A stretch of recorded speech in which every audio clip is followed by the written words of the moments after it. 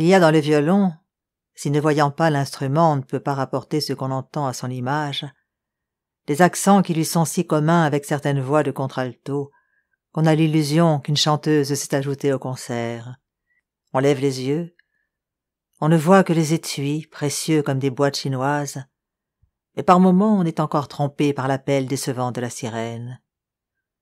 Parfois aussi on croit entendre un génie captif qui se débat au fond de la docte boîte, ensorcelée et frémissante, comme un diable dans un bénitier. Parfois enfin c'est dans l'air, comme un être surnaturel et pur qui passe en déroulant son message invisible. Depuis plus d'une année que l'amour de la musique était né en lui, Swann tenait les motifs musicaux pour de véritables idées, d'un autre monde, d'un autre ordre. Idées voilées de ténèbres, inconnues, impénétrables à l'intelligence, mais qui n'en sont pas moins parfaitement distinctes les unes des autres, inégales entre elles de valeur et de signification. Quand après la soirée Verdurin, se faisant rejouer la petite phrase il avait cherché à démêler comment, à la façon d'un parfum, d'une caresse, elle le circonvenait, elle l'enveloppait. Il s'était rendu compte que c'était au faible écart entre les cinq notes qui la composaient et au rappel constant de deux d'entre elles qu'était due cette impression de douceur rétractée et frileuse. Mais en réalité, il savait qu'il résonnait ainsi non sur la phrase elle-même, mais sur de simples valeurs, substituées pour la commodité de son intelligence à la mystérieuse entité qu'il avait perçue avant de connaître les Verdurins, à cette soirée où il avait entendu pour la première fois la sonate. Il savait que le souvenir même du piano faussait encore le plan dans lequel il voyait les choses de la musique, que le chant ouvert aux musiciens n'est pas un clavier mesquin de sept notes, mais un clavier incommensurable, encore presque tout entier inconnu, où seulement çà et là, séparé par d'épaisses ténèbres inexplorées, quelques-unes des millions de touches de tendresse, de passion, de courage, de sérénité qui le composent, chacune aussi différente des autres qu'un univers d'un autre univers, ont été découvertes par quelques grands artistes, qui nous rendent le service en éveillant en nous le correspondant du thème qu'ils ont trouvé, de nous montrer quelle richesse, quelle variété cache à notre insu cette grande nuit impénétrée et décourageante de notre âme, que nous prenons pour du vide et pour du néant. Vinteuil avait été l'un de ces musiciens. En sa petite phrase, quoiqu'elle présentât à la raison une surface obscure, on sentait un contenu si consistant, si explicite, auquel elle donnait une force si nouvelle, si originale, que ceux qui l'avaient entendue la conservaient en eux de plein pied avec les idées de l'intelligence. Swann s'y reportait comme à une conception de l'amour et du bonheur, dont immédiatement il savait aussi bien en quoi elle était particulière qu'il le savait pour la princesse de Clèves ou pour Renée quand leur nom se présentait à sa mémoire. Même quand il ne pensait pas à la petite phrase, elle existait latente dans son esprit, au même titre que certaines autres notions sans équivalent comme les notions de la lumière, du son, du relief, de la volupté physique, qui sont les riches possessions dont se diversifie et se part notre domaine intérieur. Peut-être les perdrons-nous, Peut-être s'effaceront-elles si nous retournons au néant.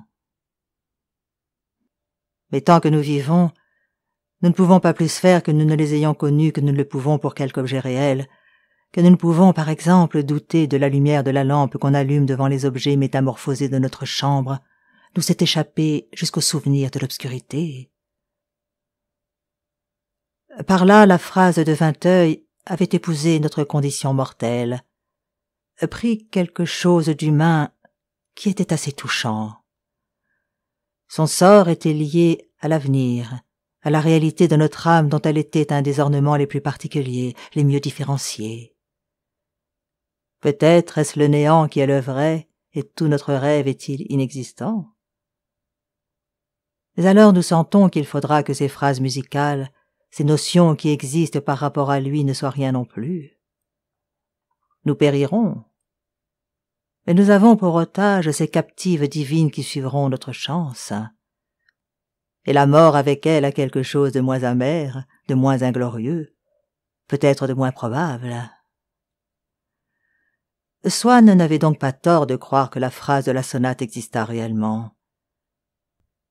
Certes humaine à ce point de vue, elle appartenait pourtant à un ordre de créatures surnaturelles et que nous n'avons jamais vues, mais que malgré cela nous reconnaissons avec ravissement quand quelque explorateur de l'invisible arrive à en capter une, à l'amener du monde divin où il a accès, briller quelques instants au-dessus d'une autre. C'est ce que Vinteuil avait fait pour la petite phrase.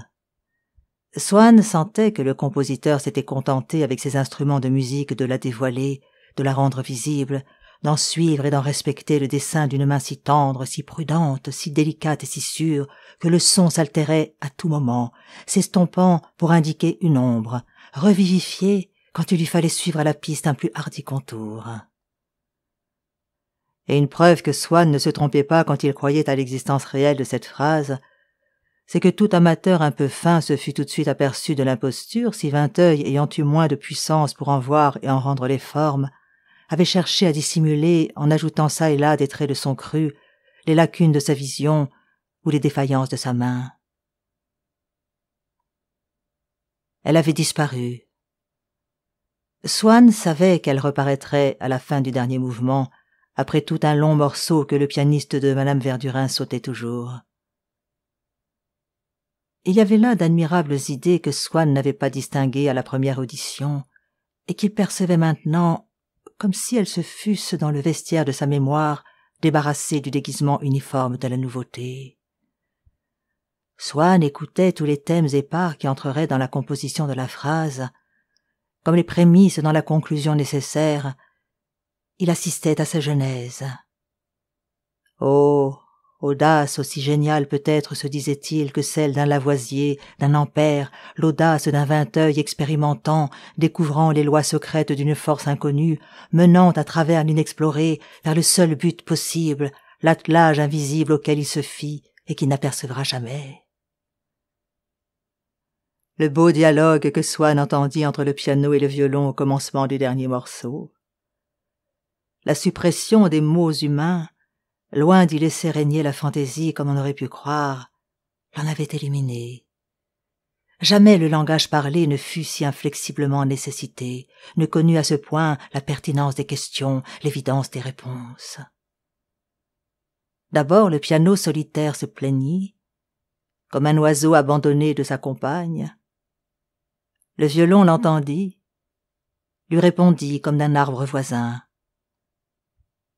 C'était comme au commencement du monde, comme s'il n'y avait encore eu que deux sur la terre, ou plutôt dans ce monde fermé à tout le reste, construit par la logique d'un créateur et où ne seraient jamais que tous les deux, cette sonate. Est-ce un oiseau? Est-ce l'âme incomplète encore de la petite phrase? Est-ce une fée invisible et gémissant dont le piano ensuite redisait tendrement la plainte? Ces cris étaient si soudains que le violoniste devait se précipiter sur son archet pour les recueillir. Merveilleux oiseau. Le violoniste semblait vouloir le charmer, l'apprivoiser, le capter. Déjà, il avait passé dans son âme. Déjà la petite phrase évoquée agitait comme celui d'un médium le corps vraiment possédé du violoniste. Swann savait qu'elle allait parler encore une fois et il s'était si bien dédoublé que l'attente de l'instant imminent où il allait se retrouver en face d'elle le secoua d'un de ces sanglots qu'un beau vers ou une triste nouvelle provoquent en nous, non pas quand nous sommes seuls, mais si nous les apprenons à des amis en qui nous nous apercevons comme un autre dont l'émotion probable les attendrit. Elle reparut, mais cette fois pour se suspendre dans l'air et se jouer un instant seulement, comme immobile, et pour expirer après. Aussi Swann ne perdait-il rien du temps si court où elle se prorogeait. Elle était encore là comme une bulle irisée qui se soutient. Tel un arc-en-ciel dont l'éclat faiblit, s'abaisse puis se relève, et avant de s'éteindre s'exalte un moment comme il n'avait pas encore fait, aux deux couleurs qu'elle avait jusque-là laissé apparaître, elle ajouta d'autres cordes diaprées, toutes celles du prisme, et les fit chanter